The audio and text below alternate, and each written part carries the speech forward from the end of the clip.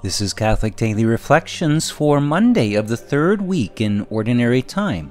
Today's reflection is entitled Daily Humble Repentance.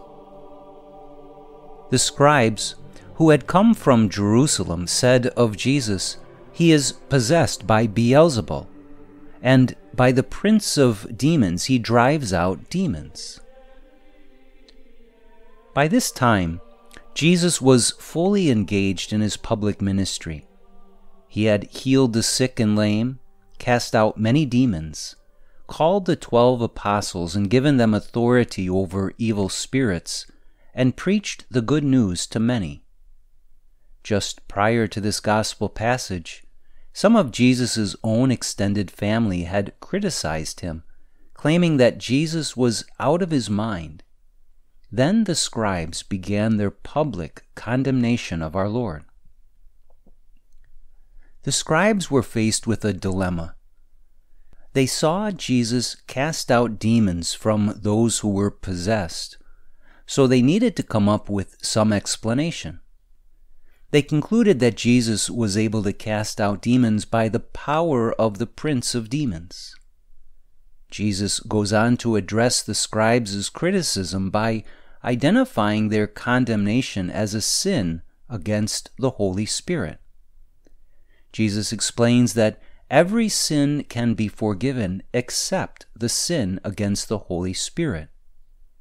He says that whoever blasphemes against the Holy Spirit will never have forgiveness, but is guilty of an everlasting sin. Why is that? In this case, the sin against the Holy Spirit is not only the false condemnation spoken by the scribes against Jesus.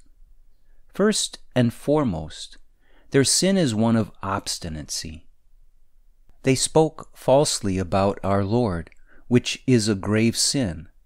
But what's worse is that they did so in such a way that they remained firmly grounded in their error. They refused to humble themselves and reconsider their error. And it is this stubbornness that leaves them with an everlasting sin. Perhaps the most important lesson we can learn from this passage is that we must avoid remaining stuck in our pride in an obstinate way. We must always be humble and be ready and willing to re examine our actions.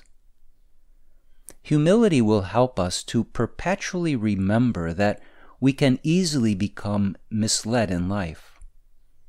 And though this will happen from time to time in various ways, if we remain humble and open to change, then we can always receive the mercy of God and find forgiveness. But if we are prideful and continually refuse to admit our errors, then we are also potentially guilty of a sin against the Holy Spirit.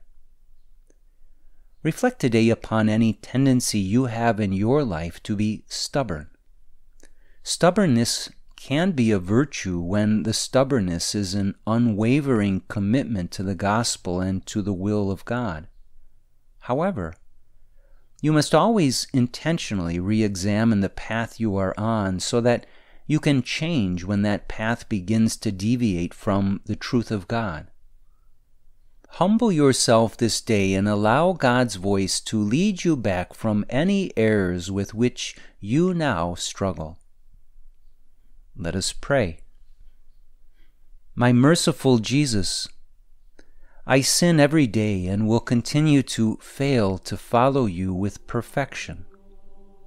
For this reason, I thank you for your abundant mercy.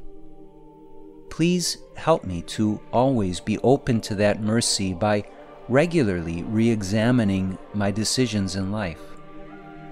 Give me humility, dear Lord, to always repent and to turn back to you when I stray. Jesus, I trust in you.